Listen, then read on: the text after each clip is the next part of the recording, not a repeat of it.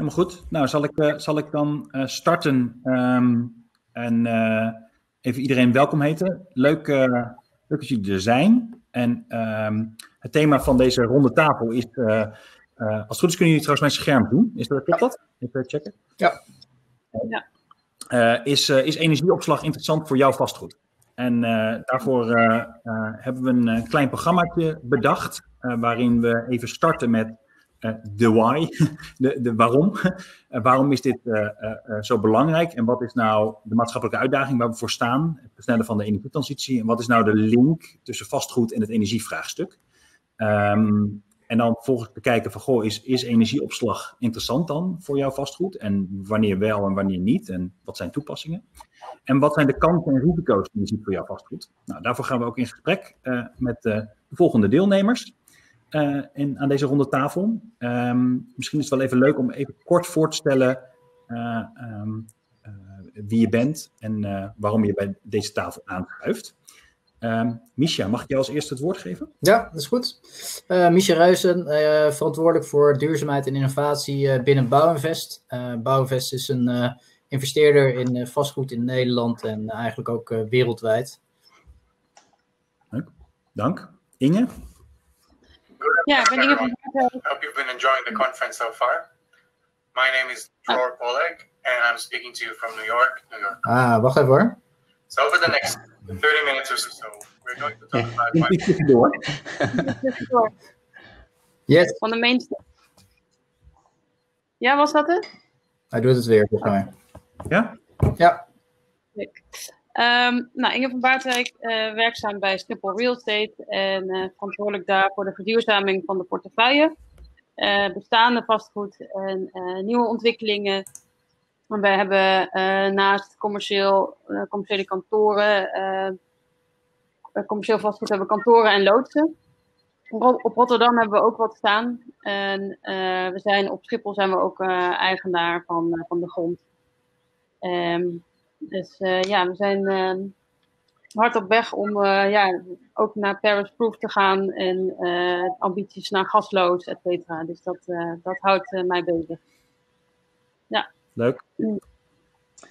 Ik zal het stokje overnemen. Norbert, ook verantwoordelijk voor innovatie en duurzaamheid, alleen dan binnen Vorm in plaats van Bouwinvest. Ehm, Vorm is een ontwikkelaar, bouwer, zowel nieuwbouw, renovatie, transformatie, uh, vastgoed, onderhoud. Uh, dus 30 jaar lang uh, onderhoud aan, aan panden. En ook deels eigen beheer. Dus eigenlijk een behoorlijk spectrum van, van bouw en vastgoed. Leuk. Zeker. Leuk dat jullie er zijn. Um, ik zal beginnen met kort even wat vertellen over, over iWell en wat we doen. en volgens even wat inzoomen op energieopslag.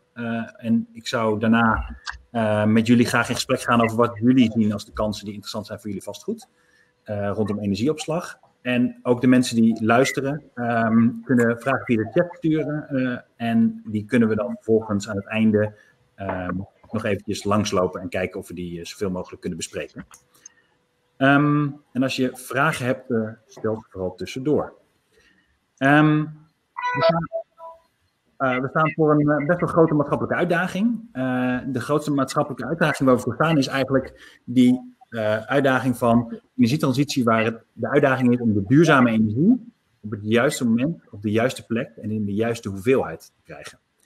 Um, we zien dat ons net natuurlijk steeds meer duurzame energie wordt toegevoegd, maar we zien ook dat er steeds meer verbruik wordt gedaan. Met name doordat we elektrisch gaan koken, elektrisch gaan rijden, um, doordat we uh, veel meer um, ook elektrisch gaan koken, sorry, elektrisch gaan verwarmen. En je ziet dat met name de uitdaging niet alleen is om die duurzame energie op de juiste plek te krijgen, maar ook om dat allemaal getransporteerd te krijgen.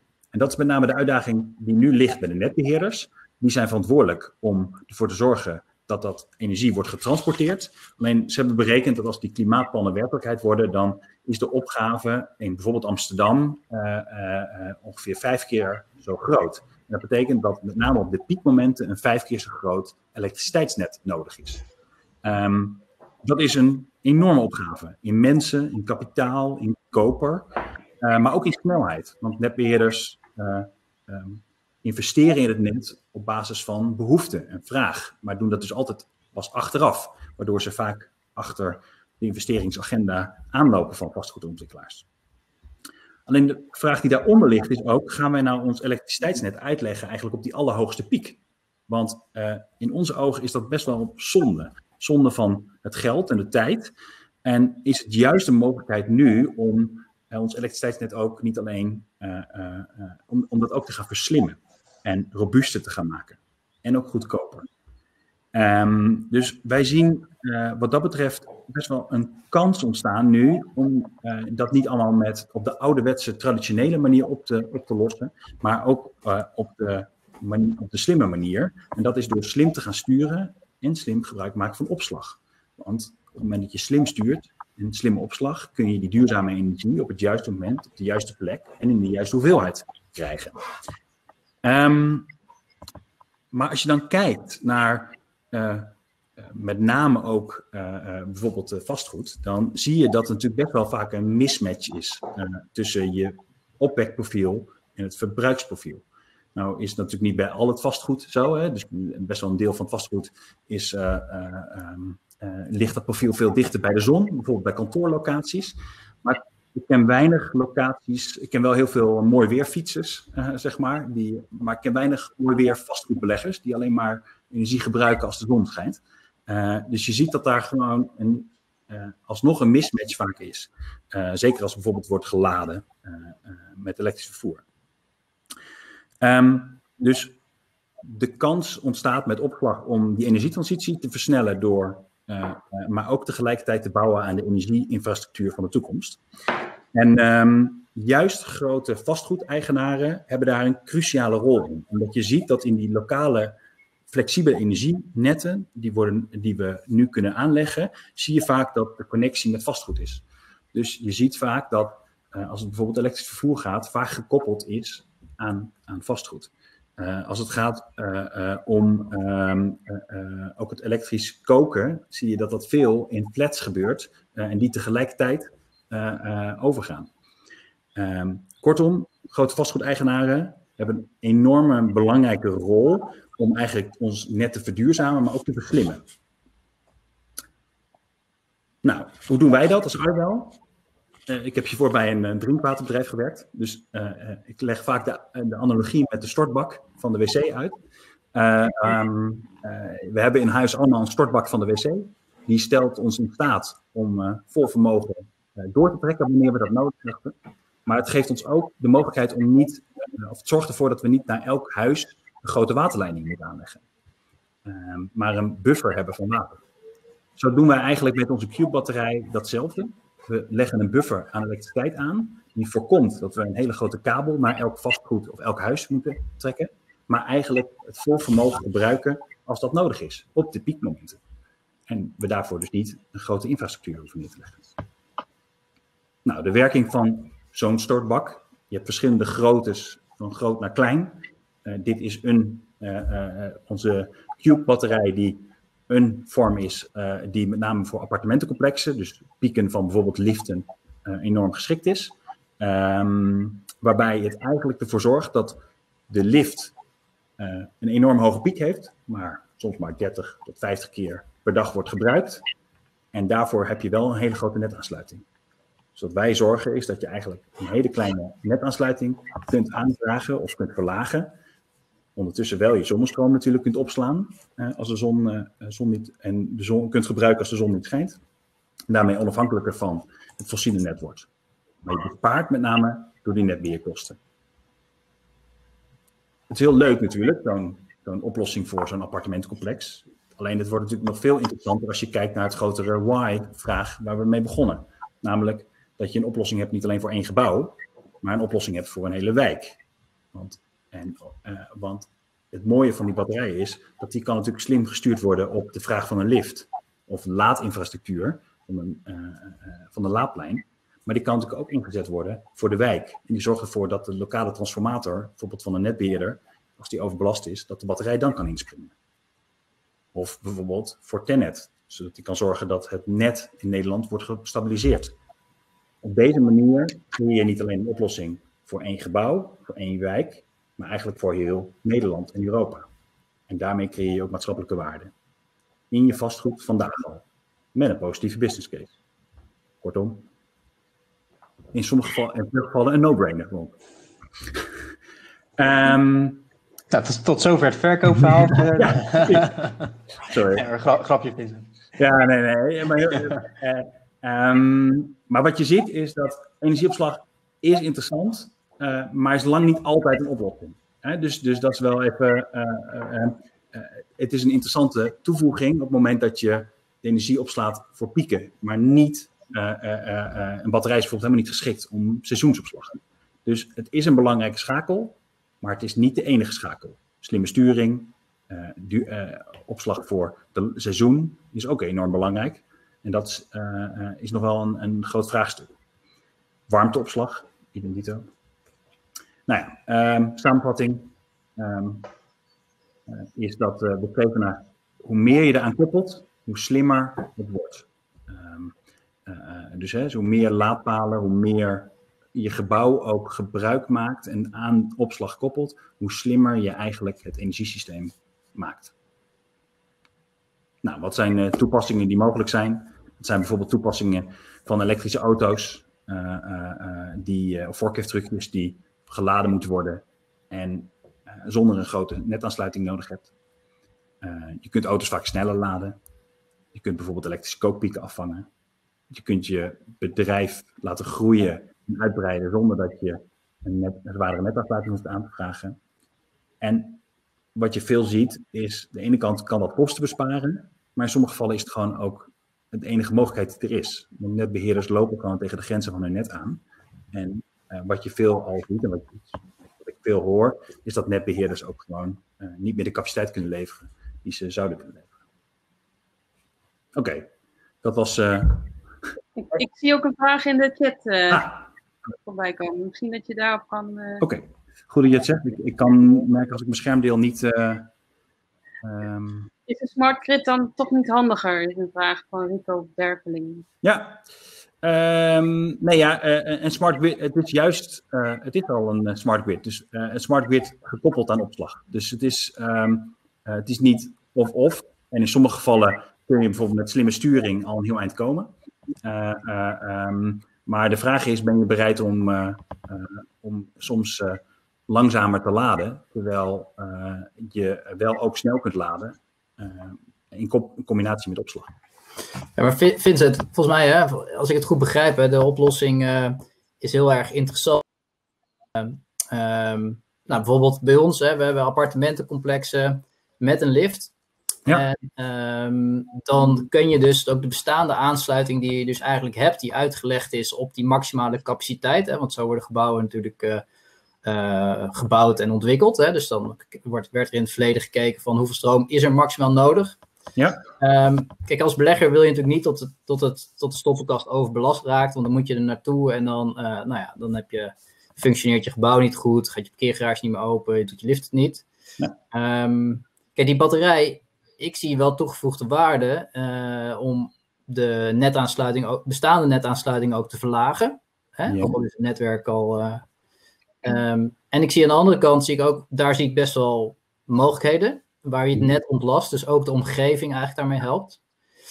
Um, en ik zie ook wel de combinatie naar die laadpalen, wat jij zegt. Hè? Want wij merken ook wel in appartementencomplexen dat wij um, twee of, nou ja, zeg maar vier, vijf laadpalen wel kwijt kunnen op de bestaande aansluitingen.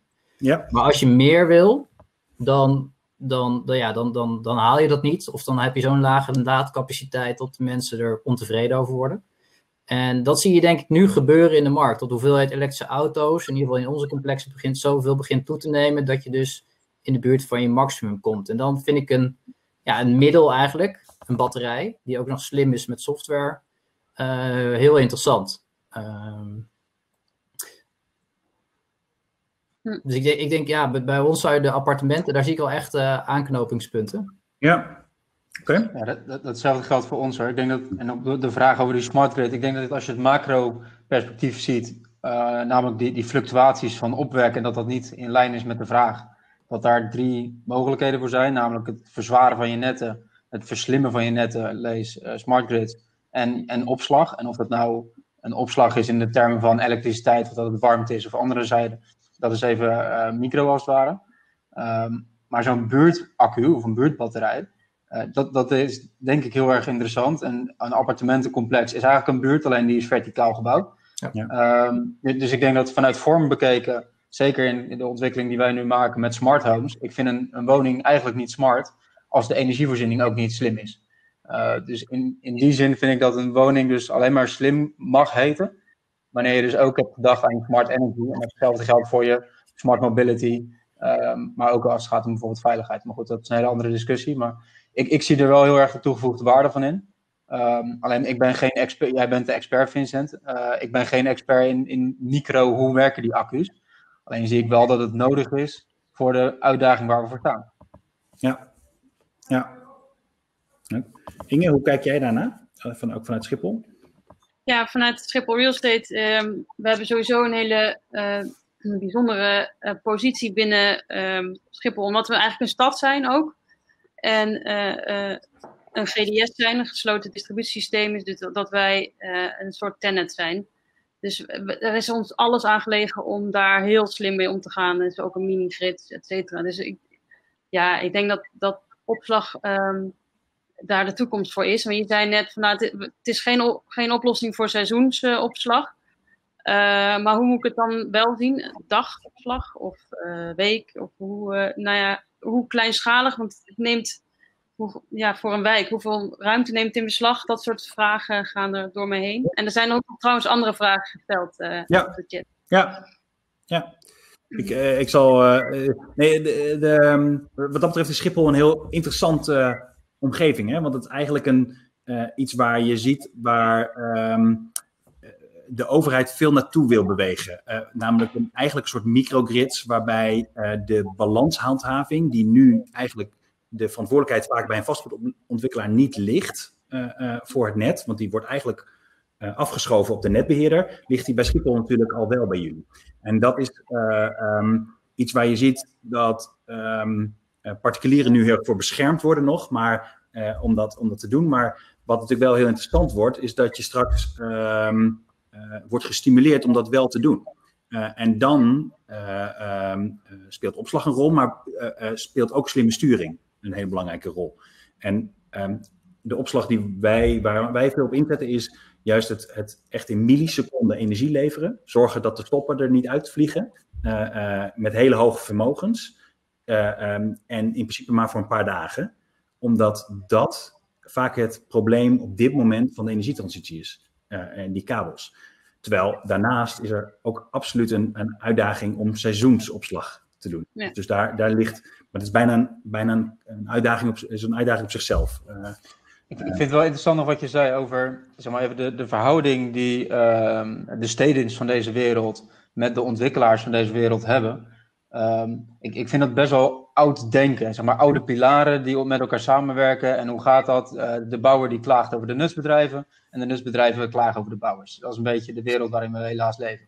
Um, tegelijkertijd, als je met de juiste personen binnen bijvoorbeeld een steding praat.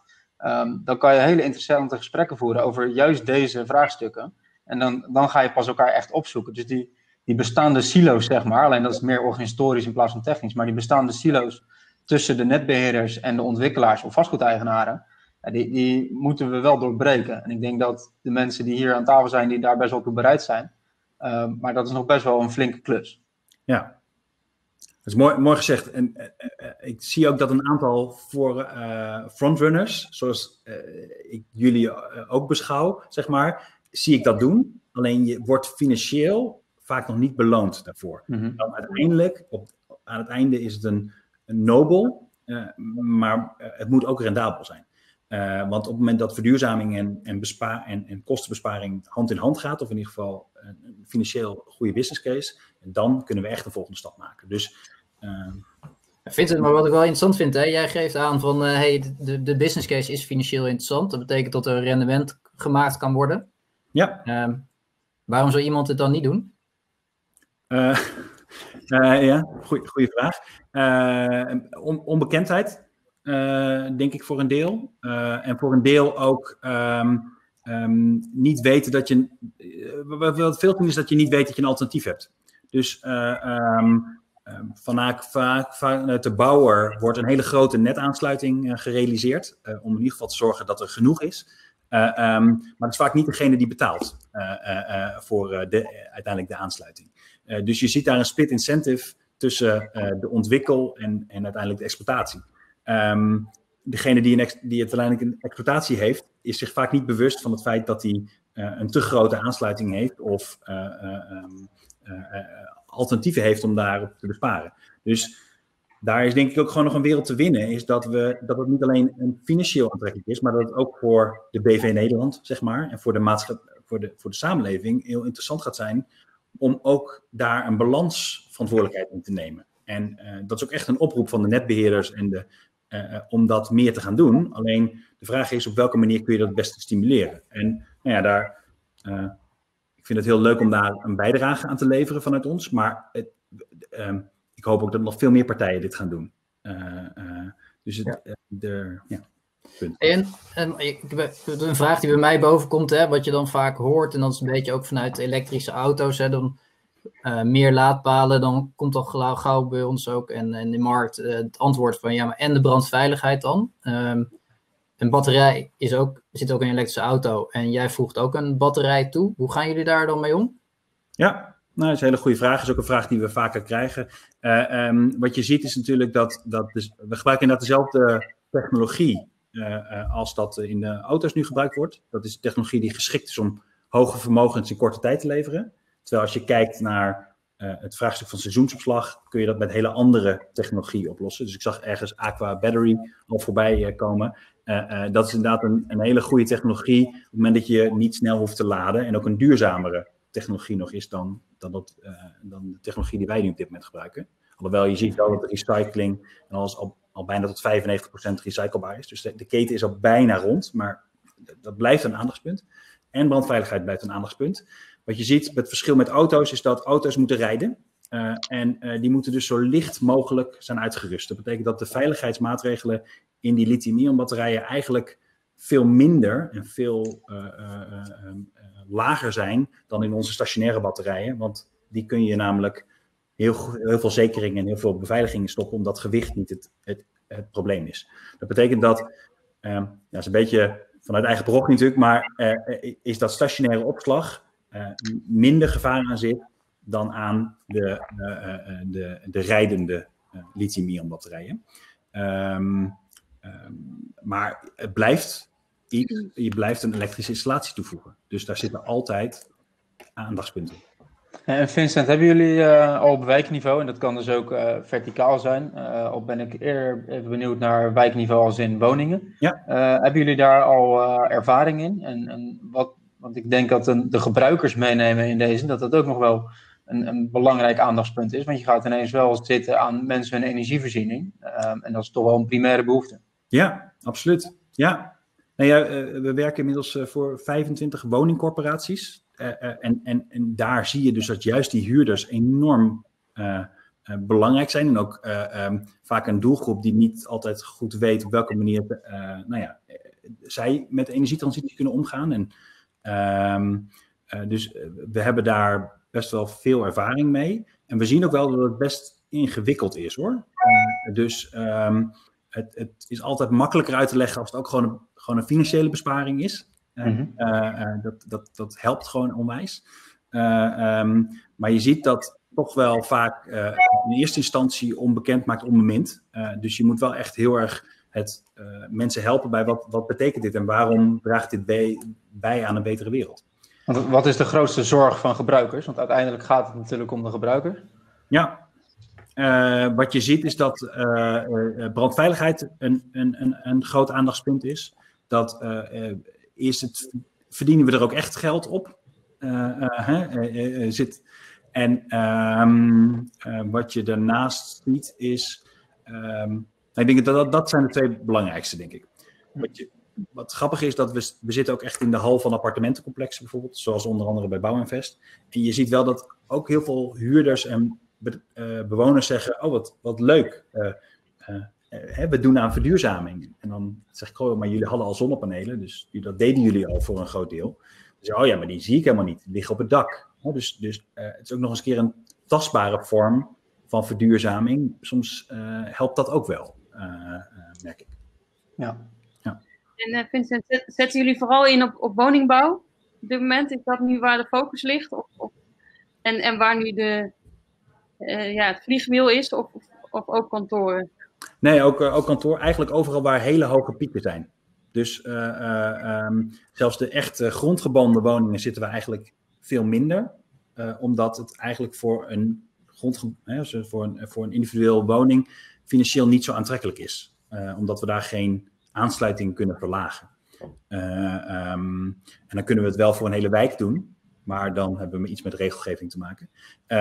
Um, behalve als we het natuurlijk bij Schiphol doen, want dan zijn jullie daarvan. Maar over het algemeen niet. Uh, bij kantoren doen we het zeker en doen we het vaak in combinatie met laadpleinen.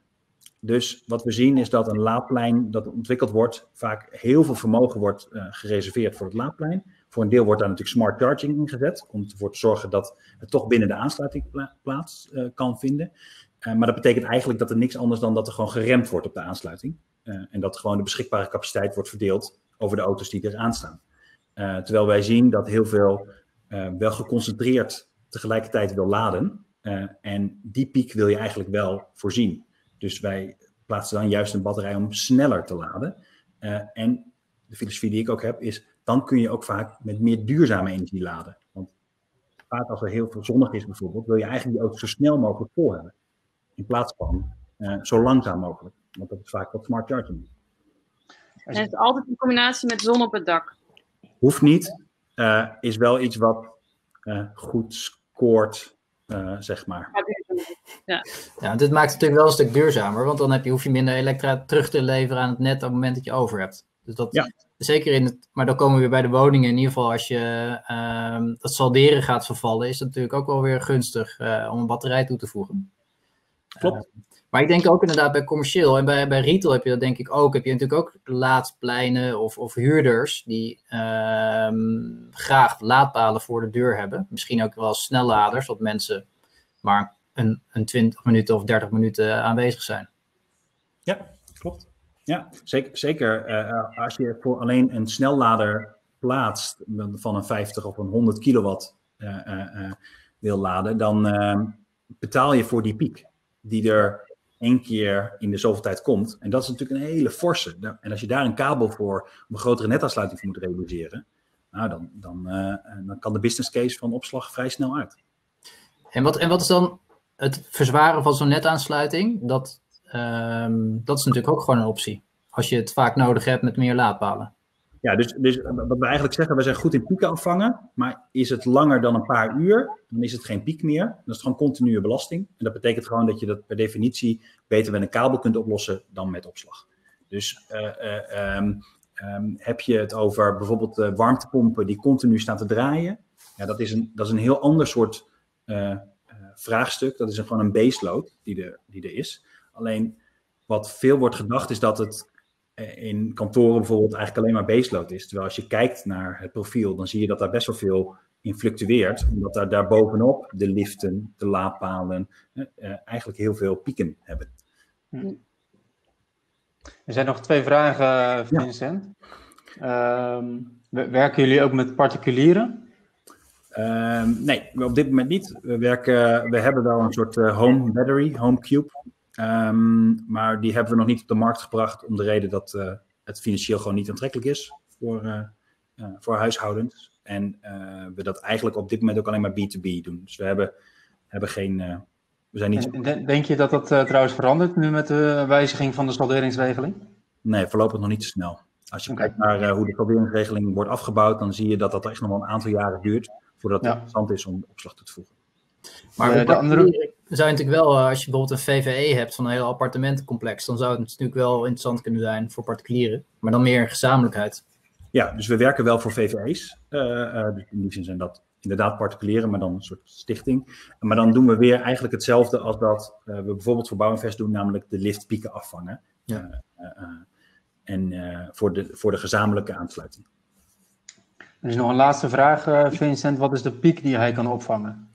Ja, dat is, uh, dat is een goede vraag. Uh, uh, dat is afhankelijk van, uh, van, nou ja, van het vermogen kan van 5 kilowatt tot een paar megawatt zijn. dus de uitdaging is eigenlijk niet het vermogen, maar is de capaciteit. En dat betekent dat we in milliseconden een vermogen van een megawatt bijvoorbeeld kunnen leveren. Dat is geen probleem. De uitdaging is als die piek langer duurt dan een uur, twee, drie uur, dan ga je op een gegeven moment zoveel capaciteit toevoegen dat het financieel niet aantrekkelijk is en ook niet duurzaam om zo'n verschrikkelijk grote batterij te reserveren uh, daarvoor. Ja. Helder. Leuk. Hoe zitten we er nu op tijd eigenlijk? Ja, we zitten net overheen, denk ik. Ah. Ja, 1 over 2. Ja. ja. Dank voor jullie tijd. Eh, volgens mij viel mijn presentatie op een gegeven moment een beetje weg, of niet? Of was die wel te zien? Nee, de uh, presentatie is wel even weggevallen, geloof ik. Nou, ja. Ja. Maar het verhaal, verhaal was helder. Oké, helemaal goed. Uh, dankjewel. En leuk jullie om te spreken hierover. Ja, dank. Leuk ja. dat jullie uh, aanschoven en uh, leuke vragen. Alright. Geen probleem. Dankjewel. Nou, hoi. Doei, doei. bedankt. succes ermee. Ja, doei, doei. Hoi, hoi.